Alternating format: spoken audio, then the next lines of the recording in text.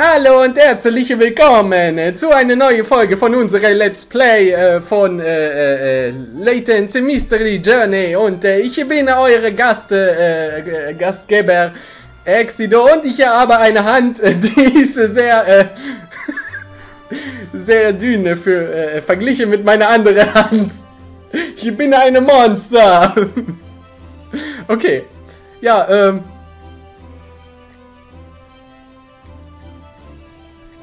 oh Mann.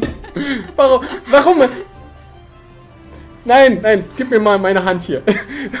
Warum ziehst du einfach so die Hand weg, meine Hand, du?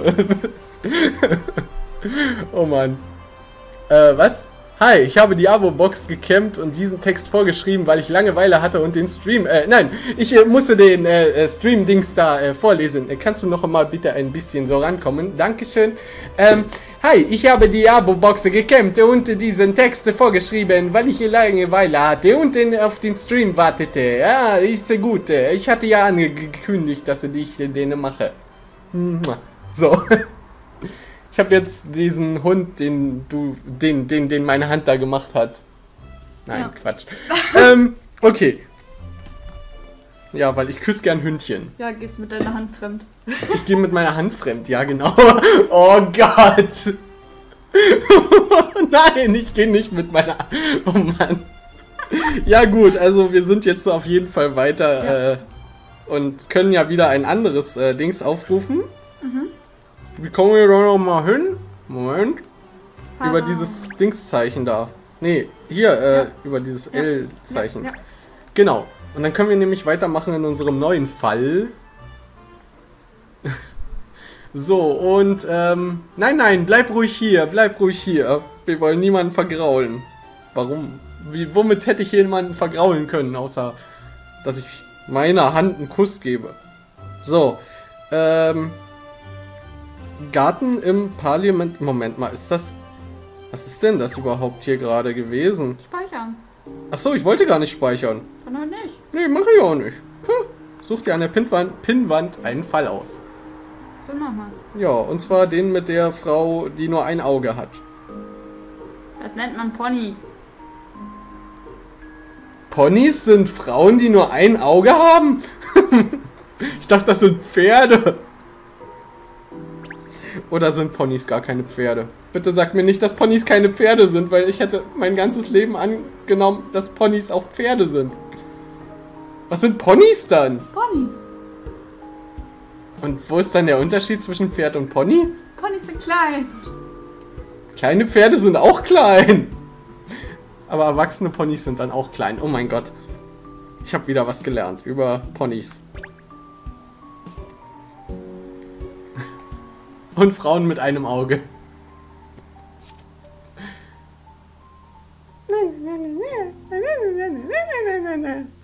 Das, das vom anderen Ufer. Genau, wenn, wenn man das äh, Uferfest verpasst, dann kann man immer noch das andere Uferfest. Du meinst den Christopher Street Day? ja, genau. Das besuchen. My Der, das war ein schöner Kommentar im Chat. My Little Frau, die nur ein Auge hat. Tolle Serie. Ja, finde ich auch. Wie auch immer. Ähm, bla bla bla. Durchklick. Ist das überhaupt groß genug oder sollen wir es größer machen? Für uns jetzt? Ja. Ja, größer. Okay. So. So, ich würde sagen, wir gehen rein. Wir gehen rein? Ja. Ja, dann gehen wir mal rein. So ist eigentlich. Ich kann ja das zumindest mal kleiner machen. Ich schieb hier gerade noch ein bisschen, damit das. So, also rein hast du gesagt. Ja. Dann gehe ich auch mal rein. Geht das überhaupt irgendwie? Ah, so schon mal nicht. Nein. Also machen wir den Koffer wieder zu, gehen auf dieses Symbol und dann, ja, rein. Scotland Yard, Foyer. Oh, das sieht ja genauso aus wie in den anderen Teilen. Wow. Oder? Ein bisschen. Ja. Nee, also nicht in verlorene Zukunft. Okay. Ja, in verlorene Zukunft waren die ja sowieso meistens unter London. Ja, meistens. Hier stimmt etwas nicht. Tatsächlich? Was denn, Miss? Findet ihr nicht, dass es hier im Polizeihauptquartier verdächtig still ist, dafür, dass gerade ein Mord gemeldet wurde? Ja, da hast du wohl recht. Ich sehe nicht viele Beamte, die es eilig haben, Spuren nachzugehen. Ach so, ja. Hm. Oh, schau, da ist Samuel Sniffler. Sniffler? Mhm.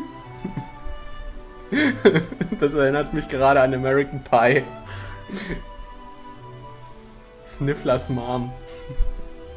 äh, nee, der Reporter der London Times. Ah, fragen wir ihn doch mal. Wenn irgendwer was weiß, dann doch wohl ein Reporter. Ja, sicherlich. Hinweis. Hinweismünze. Da ist schon mal eine Hinweismünze in dem Fahndungsfoto auf der rechten Seite. Ja. Das ist in der das, Lampe? Uh Das ist das Foyer von Scotland Yard. Das Feu Feuer. Genau, man liest das Feuer. Mhm. Das ist das Feuer von Scotland Yard, Shirl. Es brennt heiß, wie... Naja, nur falls du das äh, von da unten nicht erkennen kannst. Wenigstens zeigt einem das Schild sehr deutlich, wo man hin muss. Mhm. Nicht sehr hundefreundlich. Wie soll man das Schild lesen, ohne hochzuspringen und die Pfoten auf den Tresen zu legen? Ja, mach's halt. So, eine Hinweismünze, wo du gesagt hast. Eine Hinweismünze nicht in der Pflanze. Ähm. Da, da links, links, links, links, links, links. Noch linkser? Ach so, nee, links ist hier. Hoch. Runter. Rechts. Äh, irgendwo da. Da. Boah, ist das schwierig. Okay, müssten alle sein. Okay, ja, vielleicht ist ja... Zeitungen und Magazine für die Wartenden, was? Wo ist denn ein Herz für Hunde. Geschrieben von Serena. Hier gibt es sowohl Lokalzeitungen als auch landesweit erscheinende Zeitungen. Meine Güte, diese Schlagzeile. Drohendes Einwanderungschaos. Marsianer beanspruchen Bleibe- und Arbeitsrechte in England. Oh Gott, i. Das ist eine blöde Bildschlagzeile. Bloß, dass sie von der Sun ist.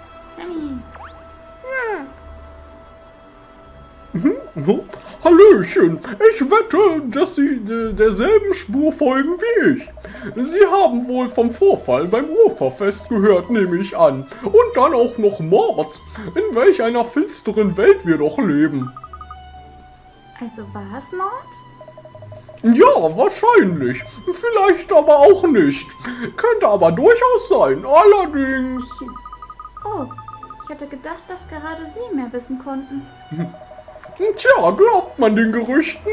Dann war es Mord. Aber bisher gab es noch keine Stellungnahme der Polizei. Hm. Ein wenig seltsam, nicht wahr? Ein Mord bei der größten Veranstaltung Londons sollte doch auf allen Titelseiten stehen. Hm, sieht ganz so aus, als müssten wir uns die Fakten direkt von der Quelle besorgen. Ja, die Faktenquelle. Ja. Da entspringt auch die Themse. Ja. ja. Wenn Sie mit dieser Quelle Inspektor Hastings meinen, der ist hier vor kurzem vorbeigekommen. Oh, den meinten die. Den hätte ich ja als letzten genommen. ich habe ihn um Infos gebeten, aber er hat mir die kalte Schulter gezeigt. Ist wohl noch immer in seinem Büro. Und dann habe ich mich an dieser kalten Schulter erkältet. Entschuldigung. Ah, danke sehr. Dann gehen wir ihn mal suchen. Nichts zu danken. Als Gegenleistung hätte ich nur gern gewusst, wenn Sie etwas Neues hören. Egal was. Ich mache das jetzt immer, weil der hat sich jetzt erkältet. Ist aber eine schnelle Erkältung. Ist jetzt schon wieder gewesen. Oh, nein, gar nicht. Bobby. Bobby hat ein Rätsel. Oh, er hat echt ein Rätsel. Windjogge in meinem letzten Fall bin ich auf dieses Rätsel gestoßen, aber komme einfach nicht auf die Lösung. Oh, könnte ich es wohl mal sehen? Aber natürlich kann sie das. Das hier ist das rätselhafte Rätsel. Es wäre sehr nett, wenn Sie mir helfen, helfenhaft helfen können. helferhaft helfen würden, ja, genau. das rätselhafte Rätsel. Oh Mann. Die Und? glückliche Familie. Und bitte Bildschirm ändern. Ja, Bildschirm ändern, natürlich. Die glückliche Glücksfamilie. So. Es gibt sieben Personen in meiner Familie. Darunter sind fünf Kinder, zu denen auch ich zähle. Der zweitälteste ist vier Jahre jünger als ich. Mhm. Also ist er der älteste Junge. Der zweitälteste, ja, er ist der älteste, ja. Das zweitälteste Mädchen, mit dem ich mich gut verstehe, ist drei Jahre jünger als das älteste Mädchen. Aber er muss ja deswegen nicht unbedingt der äh, allerälteste sein, ne? Der zweitälteste Junge. Nee, Ja, der, also er- also er ist älter als der zweitälteste Ja, ja, Junge. Er ist also der älteste Junge, aber das muss Hör nicht heißen, mal. dass. Der älteste Junge ist vier Jahre jünger als das älteste Mädchen. Nee, als er. Da steht, der zweitälteste. Liest es erstmal lieber vor. Hä, warte mal. Das zweitälteste Mädchen, mit dem ich mich gut verstehe, ist, zwei, ja, ist drei Jahre jünger als das älteste Mädchen. Ja, habe ich doch vorgelesen. Ja, aber nein, aber der älteste Junge ist. Äh, zweitälteste Junge ist vier Jahre jünger als der, der das sagt. Steht im ersten Satz. Ja, Ja. aber dann hier, warte. Der Hm. älteste Junge ist vier Jahre jünger als das älteste Mädchen. Ah. Hm. Und da haben wir jetzt den Punkt, dass er nicht der älteste ist, zumindest. Sondern er, derjenige, um den es geht, ist also vier Jahre jünger als das älteste Mädchen. Weil er der älteste Junge Der ist. zweitälteste Junge ist vier Jahre jünger als ich. Ja, dadurch ist er der älteste. Junge. Ja, Junge. ja, ja.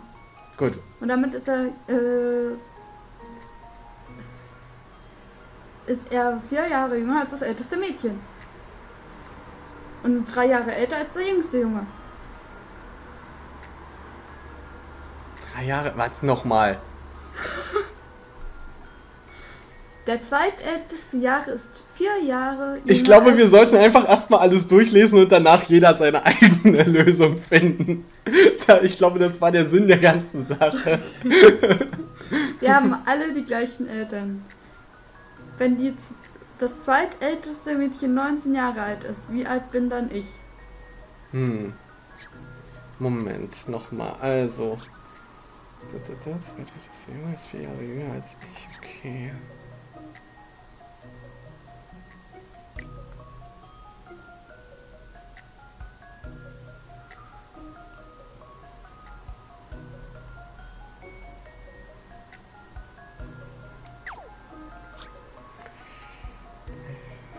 Zweitälteste das älteste Mädchen.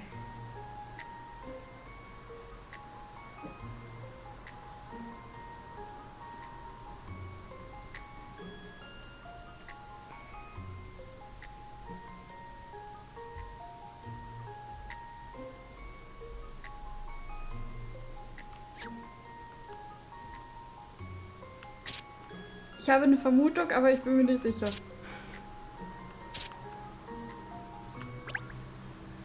Das ist ein besonders interessantes. Was? Das gar nicht zu mir. Okay. Jetzt mal nochmal. Also ich, ich ich, glaube. ich habe eine Vermutung. Okay, ich habe schon mal falsch gemacht. Ich habe eine Vermutung, aber ich bin mir nicht sicher. Okay, Deswegen. ich, ich, ich, ich versuche gerade nochmal rauszufinden, wo habe ich denn den. Ich schreibe mal kurz bei den Notizen oben rechts meine Vermutung hin, Mhm, damit die Zuschauer sehen, was ich vermute bis jetzt so. mhm, mhm. Also, Ah, ich bin doof. Nee, oder? Nee.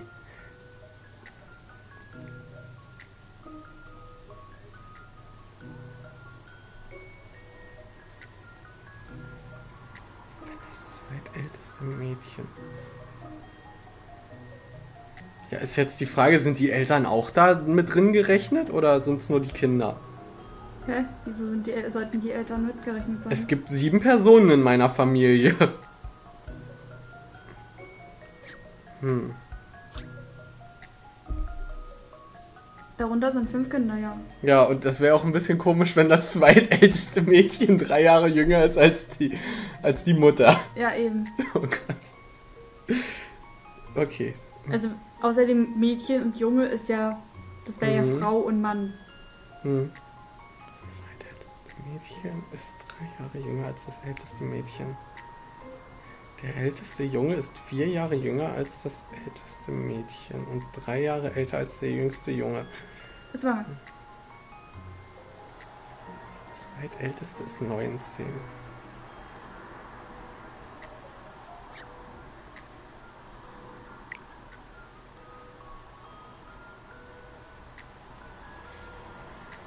Also es muss ja irgendein Kniff sein.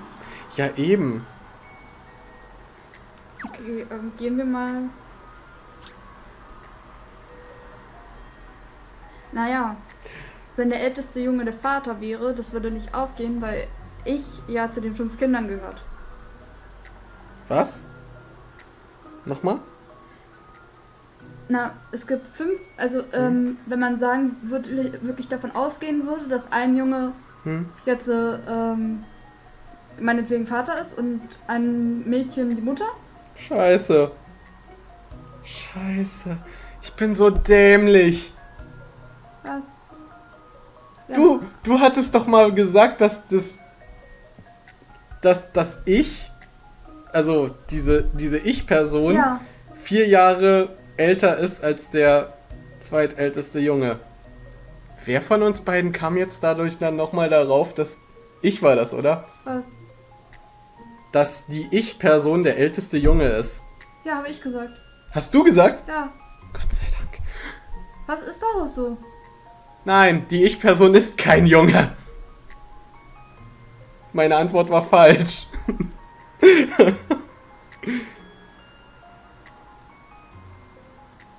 okay. Also, Der zweitälteste Junge ist vier Jahre jünger als. Ah. Ich lache, wenn es jetzt richtig ist.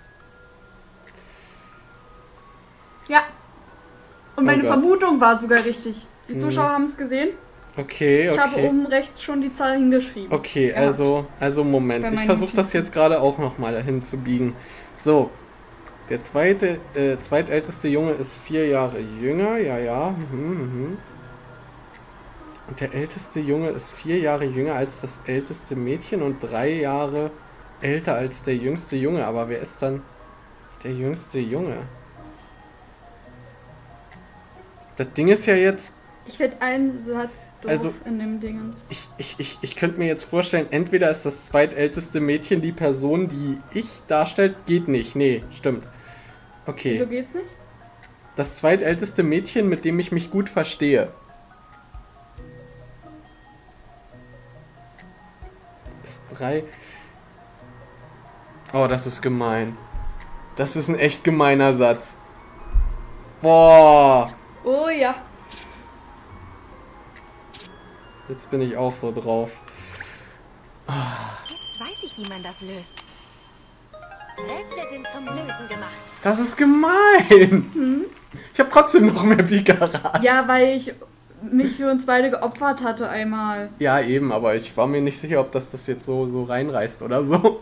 Aber das ist ja, So, ich will, jetzt, ich will jetzt die Erklärung hören. ja.